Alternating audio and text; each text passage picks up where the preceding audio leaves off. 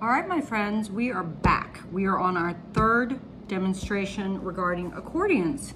So if you're watching this in order, the first thing that we did is we made our Sweet Star accordion, which had this kind of origami element to it, where the pages folded together. If you haven't done that yet, go ahead and do that first, because I think it's a good introduction. The second thing that we did, let me find it, was our continuous piece of paper as an accordion. So accordion structures are accordions because they go uh, uh, uh, like this, and like the musical instrument. And this is a continuous piece of paper. So we had a long piece of paper that we just folded.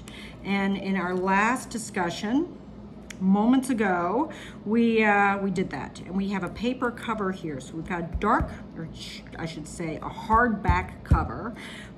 Paper is the decorative element that's protecting the cover itself. So underneath that is this board, which we know about, the Davey board. And this time we are going to be covering with bookbinding cloth. Bookbinding cloth is cloth that has a paper backing to it. So it makes it so that glue goes on nicely and doesn't seep through the fabric itself. We addressed this a little bit at the very end of our last discussion. Um, and you may have just, you may be watching them back to back, which is good if you are, because this leads to another thing. So in your packet of materials, you have pieces of paper and they're a little bit longer than they are high. So keep track of that. This should be approximately two inches high and two and a quarter inches wide. So we need to figure this out so that we can cut these or rather fold them in the same exact way. Um, so we can have tabs on the back of our pages like this. I'm going to show that to you so that our pages attach with one another. So on one side is the tab, right? That's the back side theoretically. And this is the front side where we don't see a tab. So we're going to make the tab and then the piece of paper is going to just go in there and I'll show you, of course, how that works. This is very useful. If you have a long piece of paper and you want to attach another long piece of paper, you can just do one tab. And so you need to plan it so that it's the length of the paper plus a little bit that will glue onto the back of the piece of paper. Some people figure it out so that it's, you know, a quarter of an inch like we are gonna do, or half of an inch, or even the full piece of paper itself. So some people do that. It's totally up to you. Um, if you have a piece of paper that is really heavy, you will want a larger tab because you don't want it to pull apart very easily. But if it's something that's not too heavyweight like this, this is perfectly adequate. I would not do less than a quarter of an inch though. I would not do that. And if you've got a giant piece of paper, it makes sense that you would want to have a larger tab. So what we're doing is we're doing every single page, which you know, might be, you know, I, am doing it so that you can, you, you know how to do it and you know how to do it really well. But there's no such thing as purity here. So it's not like you can't have two or three pages and then a tab on the back. There's nothing wrong with that. That's perfectly fine. I'm just doing this so that we are super thorough in our understanding of it. So this I've already cut. Now my pages, I want them to be two inches, right? Two inches by two inches is what I want. So this is two inches and a quarter on one side, all right? So I'm going to make my tab. Doesn't really matter which side I go to, frankly, because if it's like this, I can flip it back and forth. I can turn it up and side down. It doesn't really matter so much. What I am gonna do is I'm going to look at my ruler and I'm going to realize that this is two inches, right? I want to double check that because it's sort of uh, tricky looking, but I know that it's two inches, but where's my other ruler? Ah, ha, ha. This is my other ruler and I just want to make sure that this is two inches and I'm not wrong. It is two inches, two inches it is. So that tells me if I know that this is two and a quarter, I could very simply put this on top of my paper, right? I'm making sure that the top edge here is lining up with one of those lines, okay? I'm making sure of that. And I'm gonna take my bone folder and I'm going to make a crease here. So I'm gonna just, it's like I'm drawing with this, right? No pencil, No, no, no, no, no, no, no, no. Don't use a pencil to mark it. This is the tool that you're gonna use. Pencil is smudgy and messy and you have to erase it later. And why the heck use it if you don't have to? So here we go. Now, here's the thing. This is where this is gonna fold. I want my pages to be two inches. So that is why I'm using two inches. I'm not figuring out a quarter of an inch here. I'm not doing that. And the reason is, is because that crease is going to it's gonna have its own thickness, okay? So this isn't some, you know, surgical tool. This is kind of thick. So if I make my crease on this side, it's gonna be slightly smaller. This side is gonna be slightly smaller, okay? Now, maybe that's not a big deal, but actually, if you're being really precise, it is a big deal. And we are super duper uh, fantastic with our accuracy. So when we can be, right? So this is two inches, I'm looking straight through it. I know that it's even because it's even with the top of the page and yoink, I make the crease. So I'm gonna do that with all my pages so I can zip through this, all right? Zip, zip, zip, zip, zip. Zip, zip. All right, scrunch. Hmm, let's do it again. I'm in my studio today, which is such a messy place right now. I go through periods where I'm crazy busy and things get just shockingly messy. It's not big enough. I need like 15 more studios. But I have to make do. I like being in my studio. It's like my safe place. Nobody can get to me here unless I want them to. It's hot though, I gotta tell you. It's hot right now because I don't have air conditioning. The reason I don't have air conditioning is because so much of the sculpture I make, I need ventilation. and for me to have ventilation, that means I can't really have air conditioning, right? I could, but you know, I suffocating here. Okay, I'm doing all of these for some reason. I'm not sure if I really want them to be the, this to be this long, but why not? I don't know how many how many pages I gave you all off the top of my head. Probably this amount, right? I've got an extra one here. So two inches is what I am trying to measure. So let's say you have something that doesn't accommodate, you know, a clear ruler like that. Let's say it is 16 inches right? If I want to be tabbing on the paper and I want the paper size to be consistent, all that means is I am gonna measure it. I always use this guy for my marking instead of pencil, but pencil might be, particularly if you've got an automatic pencil, like a carpenter's pencil, that you know, carpenters use like automatic pencils that go straight down. Anyway, you don't have to worry about getting that complicated, but my point is, is you can make a tiny little mark, a tiny little mark, not a straight line that is gonna show up on your page and that you're gonna have to erase like crazy later, because that's just like, that's just no good. You don't want that. You wanna use as little material that you're gonna have to clean up later as possible. So here we go. I'm gonna fold over all my little tabs, which is easy enough. I'm folding them over. So towards the inside of the paper. Now, when I start gluing these together, I'm gonna have to flip some of my folds and that'll make sense in a few minutes when I show you. Okay, we might as well do this all at the same time. Ford Motors style.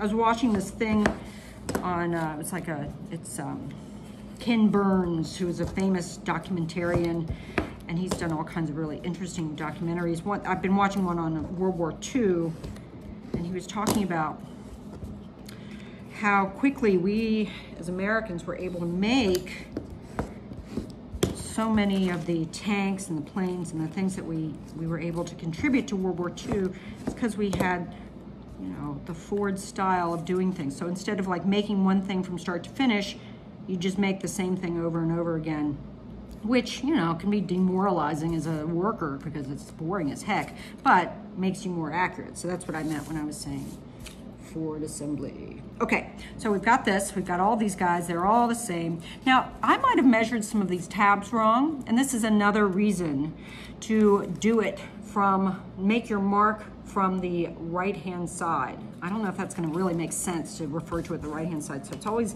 yeah, I guess so, right-hand side, okay?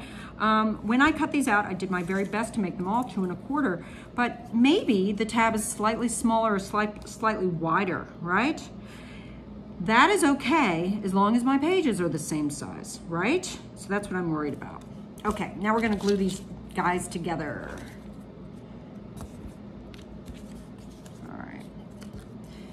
Hello, Tab. Hello, Professor Fox. Let's see. Now, I could be careful, which is always a good idea to be careful. I could put a piece of paper right on top of here, and that would be smart. That would make me a better crafts person. And I'm gonna put some glue here. Boop, boop, boop, boop, boop. And I'm gonna try not to drag it over. And I'm certainly gonna move this away from this gluey spot. And I'm gonna plop put this on top so that it comes up to the crease, right? Not on top. If I put it on top, I am stuck because I'm not gonna be able to fold this nicely. But here it is, super duper nice, right? Okay, I'm not gonna worry about this being a perfect accordion right now. I'm just gonna do my gluing. All right, so this looks darn good. So I'm gonna do my next one. Glue goes here. The tab is always gonna go to the right, okay? So that we can remember not to do this, uh-oh, and lose our minds. That might happen to you. It's happened to me. And I think to myself, self, why are you so stupid? But, um, you know, that's me being unkind to myself. All right, I put a piece of paper on top of here. All right, just to keep it clean. Then I'm moving that. I'm folding this over just so I don't have a gluey spot. Ah, ah, let's see. Here we go. Lining this baby up. The tab is to the right. I'm not going on top of the crease, but rather just next to it, adjacent, because I need that crease to work. I need it to actually fold. I'm trying to keep this as even as I possibly can.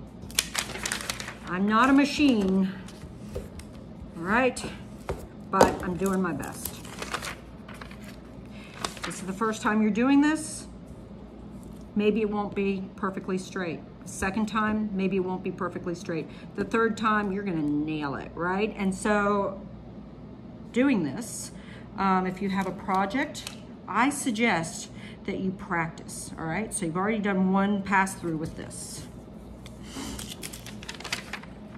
But it's amazing how much, how important practice is.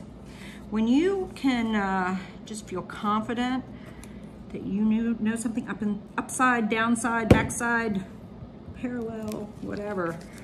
Um, that confidence is like, uh, I don't know, it's metaphysically transferred to your book, but it just means that you can think about stuff that's more important than the basics. All right, glue, glue, glue. I love glue sticks. You know, I don't think we had glue sticks when I was a kid. We had just paste, delicious paste. And then when I was a, you know, like a slightly bigger kid, we had, um, oh, what did we have? We had that like glue that stank that probably killed a whole bunch of my uh, brain cells. What the heck was that called? Rubber cement. Yeah, yeah, bad stuff. All right, I'm, I'm, I'm, I'm doing this freehand now, so I'm getting a little confident here, a little cocky. Let's hope I don't, I don't regret it. So here we go, I'm doing this, woo woo, it's looking good. I'm hoping that I'm doing this straight. I think I just moved that one, so I'm gonna try and make it straight. Uh-oh, that's the wrong size. Hmm. Uh-oh, this is two. Hmm. Maybe I got some of my papers mixed up. All right, well, that's the end of that, right? Okay, so I'm done with that. Um, if that's the case, if your pages are the wrong size, oh my goodness, I must apologize, but um, you can fix it. You can do your own. I don't think it's gonna be the case. Okay, so what do I have here? I have this extra tab, and I'm not gonna need that, right? So I could take my my board here, and I could just take a razor and go shunk, which would be the nicest, cleanest way of doing it. For expediency, since I don't have a razor right here, I'm just gonna cut this with my scissors and be very careful. All right, so I don't need the extra tab because I'm not using the tab to attach to the cover. So that's why. Um, I'm gonna fold this back and forth so it's a nice accordion. And for this, I need one page to go down, another page to go down. So one, two, three, four, five, six. This is an even number, even number of pages that I need, okay, for this to work. All right, now we're gonna do the slightly more tricky business of gluing on the fabric to the board. Now we're gonna use a different glue for this. I think with something this small, we could use our glue stick. I think our fabric would be fine with that, but I want to give you the experience of using our PVA. So our PVA we're gonna use with the brush that was uh, provided for you. This is our glue brush.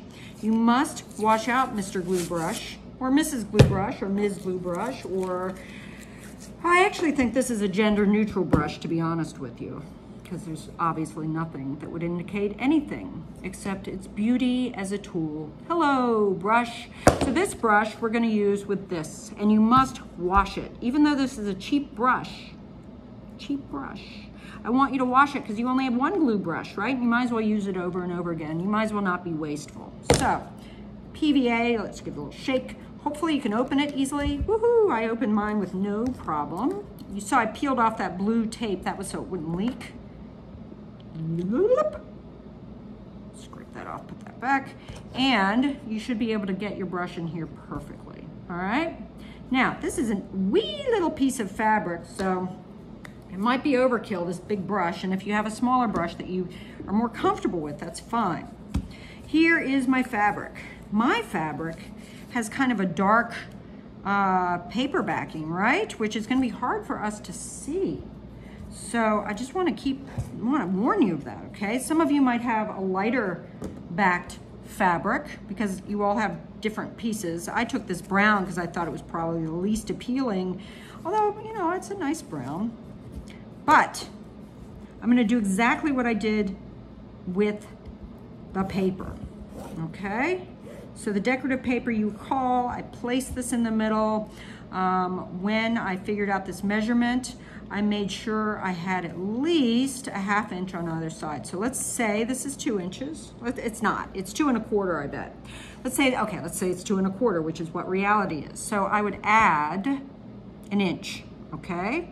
If I had a bigger cover, I would add probably two inches on all sides so that I would have enough leeway to fold this over in a comfortable fashion. I don't want to make myself uncomfortable by making something really narrow and then I have to like ah, try to get it over and it's really unpleasant, okay? Life should be easy when you can make it easy. We've got enough difficult things to get to. All right, so I traced that. I don't know if you can see it, but it's there, all right? There it is. And I'm gonna do the same old thing that I did with the others. I'm gonna make this measurement of the board and I'm gonna make sure it's right at the corner and not over the corner because I need one thickness here. And then when I cut it out, I'm going to cut to the right of the line so that I end up with, I hope, about an inch, or not an inch and a half, uh, board thickness and a half. That's what I'm aiming for. Cut, cut, cut. So this is exactly like we have done before. So this is the third time you've done this. Now, why is fabric more difficult than paper? And why does it need this other kind of glue? Here's the reason. This is harder to glue because it's heavier. And if you're doing a big piece, glue stick is just not gonna cut it, all right? You need the entire piece of fabric to stick evenly and securely to this board and you don't want it to be glued over here just a little bit, glued over here just a little bit. It has to be the same, all right? It has to be uniform in order for this to function properly, all right? So we are using this because it is a stronger glue. It is also more archival than Mr. Glue Stick or Ms. Glue Stick or gender neutral glue stick. I think actually, I think actually materials, I think it's safe to say they have no gender. All right, here we go.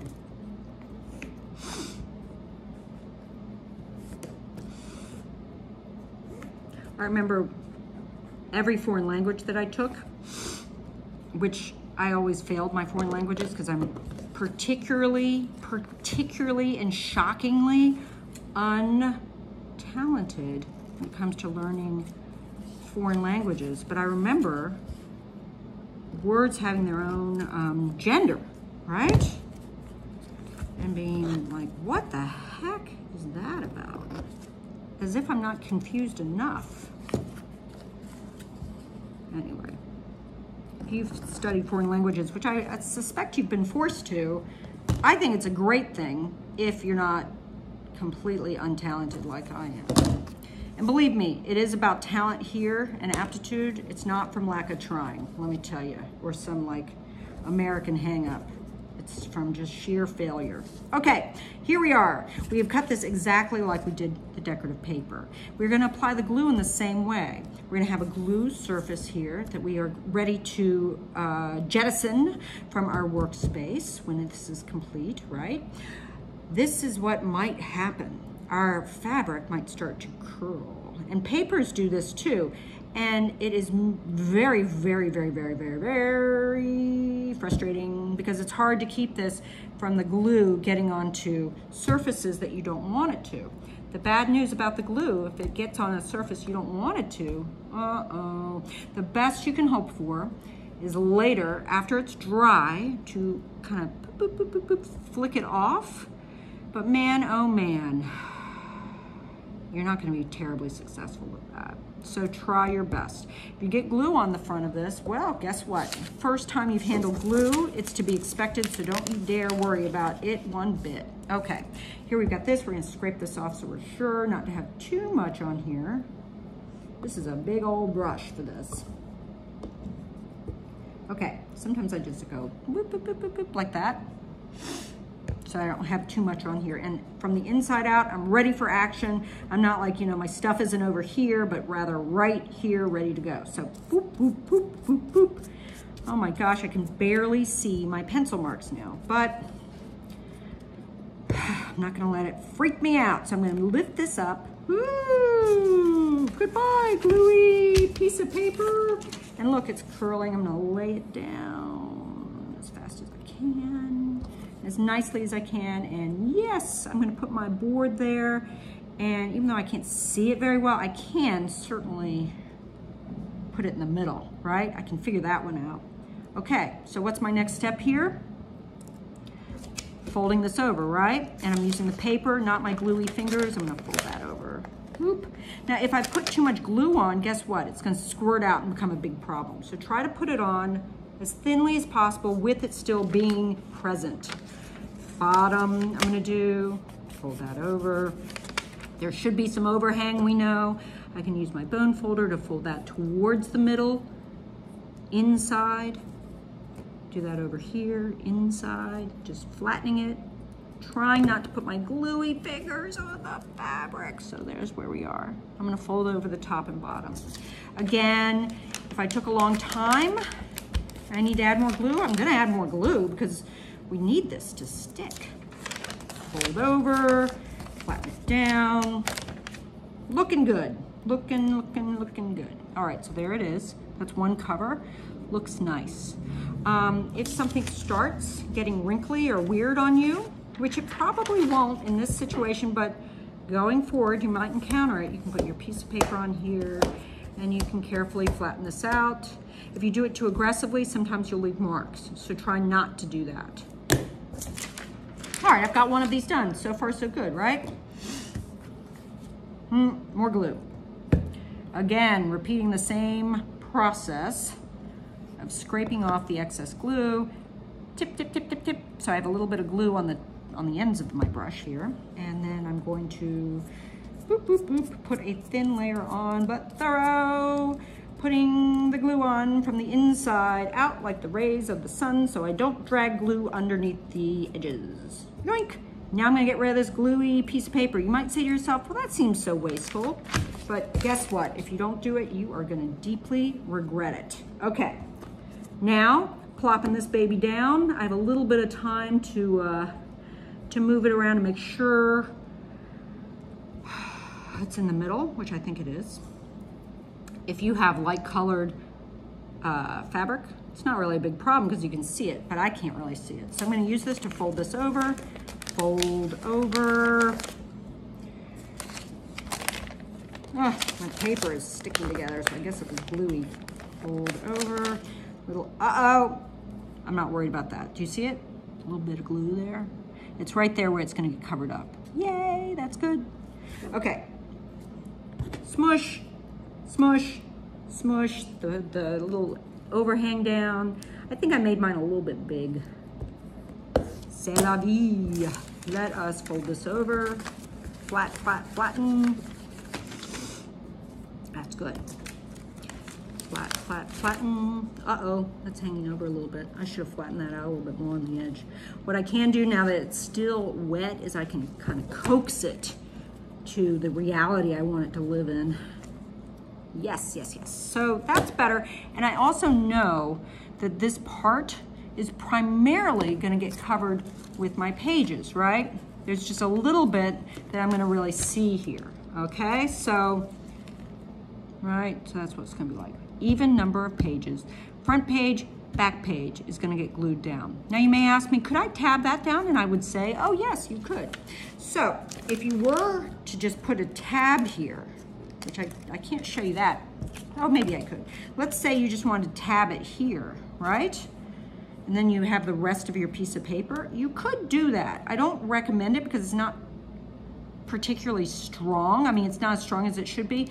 And then you have this to deal with, which is okay because you could put some decorative paper on top of that that was cut, you know, just about a quarter of an inch smaller than the height of the board. Or you could put more fabric down there. But I really think that just the pages looks better in my experience. But there are options. You are an artist and you don't have to do things exactly as I show you when you do your project books, right? So I want you to use your artistic license for that. But this, you know, I'm just showing you what I consider to be the most expedient way of doing this. All right, let's see.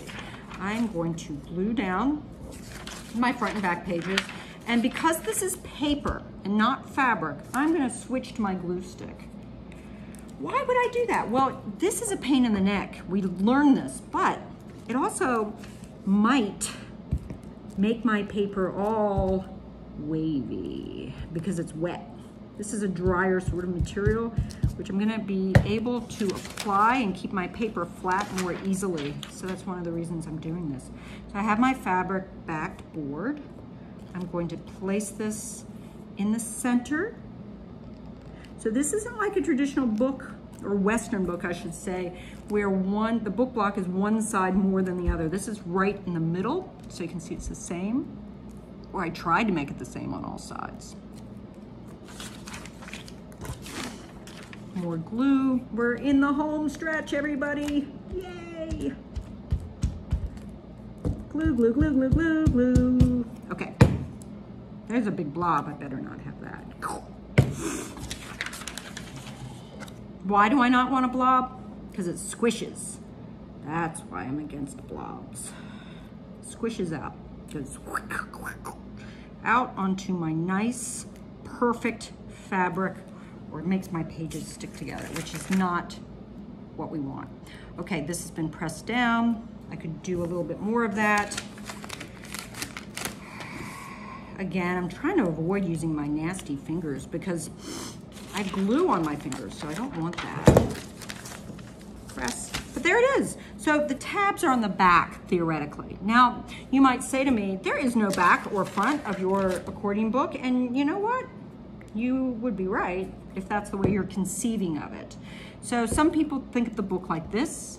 Some people think of the book as being a structural kind of sculpture, okay? So something that would sit out like this or, you know, sit like this or have some kind of presentation where the front and the back are equally important. And, you know, front and back, that's just, you know, a conceit that I'm putting upon this. So it might be that you have imagery on the back that needs to somehow incorporate those tabs. So that's just something you have to plan for. If that's something you're taking on, you have to plan for it. Um, as far as I'm doing this as my dummy book, I'm considering this to be the viewing side and this to be a non-viewing side. Um, so I'm not worried about it. I could, you know, I could have this all one color or have some kind of design that went through here or continue with the text on the back as well or have a different story on the back. So one thing happening here, one thing happening there. This side, of course, is going to be a little bit shorter because, you know, I've got these pages here if I wanted to use them from this side of the structure. But ah, that's totally up for you to decide. So we've made three different accordions so far. We've made one with a with a this folded paper, right? We did that in our first demonstration. In our second one, we had a continuous piece of paper with a decorative paper cover. And with this one, we had tabbed pages, each page tabbed, but we're remembering that we, you know, we could have continuous pieces of paper that have a little tab on them, right? And um, we have a fabric cover. The fabric covers have a, a, satisfaction to them, right? They have kind of an authority of being, you know, this is important, this is a real book kind of feeling. Um, but they're nice. And in certain situations, you might prefer to have something like this, or you might prefer fabric. It's just one of the options you have as a book artist. So my friends, we are done with accordions. What you needed to have done is followed along with me. And if you didn't do that, well, watch this again and walk through it step by step, please. Wash your glue brush because it's the only one you've got, my friend. And I've got to like make sure I don't, when I put this jar together, I don't end up gluing this together so I can't get it open again. If you do that, just run this under some hot water for a while and it'll come open for you. All right, friends, I hope you have a wonderful week. And next week, by Tuesday, there will be another demonstration posted. All right? So delighted to spend this time with you, and I will see you soon. Bye.